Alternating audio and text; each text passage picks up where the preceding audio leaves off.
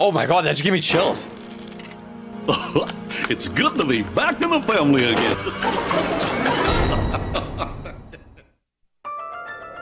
That's how it ends. Hit the G to the O to the O to the S E B U M P.